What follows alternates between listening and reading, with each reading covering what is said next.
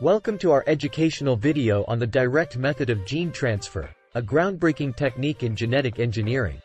In this video, we will explore the direct method, also known as vector-less gene transfer, and its potential to revolutionize genetic research and medical applications. Let's dive in. Understanding gene transfer.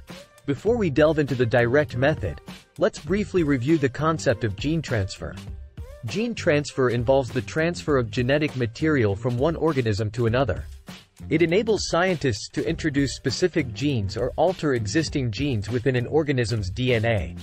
Traditional methods and limitations. Historically, gene transfer methods relied on vectors, such as viruses or plasmids, to deliver the desired genetic material into the target cells. While these methods have been effective, they come with certain limitations.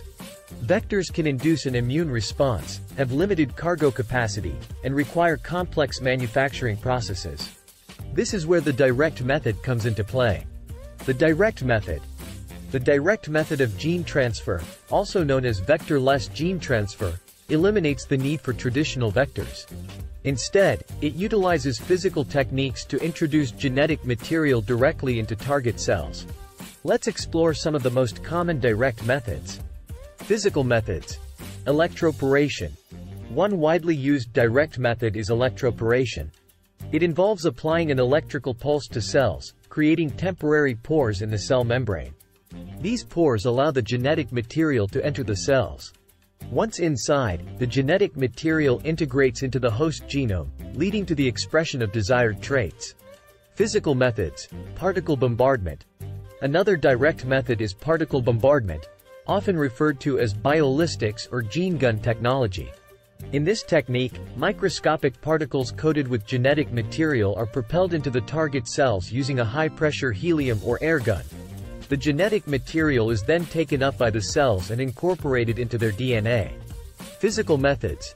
Microinjection. Microinjection is a direct method commonly used in animal research and assisted reproduction. It involves using a fine glass needle to inject genetic material directly into the nucleus of the target cells. This precise technique allows for the delivery of genetic material to specific locations within the cell. Physical methods. Sonoporation. Sonoporation, or ultrasonic gene transfer, utilizes sound waves to create temporary pores in the cell membrane. These pores enable the entry of genetic material into the cells. This method has shown promise in various applications, including gene therapy and tissue engineering. Benefits of the direct method. The direct method of gene transfer offers several advantages over traditional vector-based approaches. It eliminates the need for viral or plasmid vectors, reducing the risk of immune responses and potential side effects. It also allows for the transfer of larger genetic payloads, enabling the delivery of more complex genetic constructs. Applications. The direct method has vast potential in various fields. In research, it enables scientists to study gene function, create genetically modified organisms, and develop new disease models. In medicine, it holds promise for gene therapy, where it can deliver therapeutic genes directly to targeted cells, treating genetic disorders and potentially curing diseases.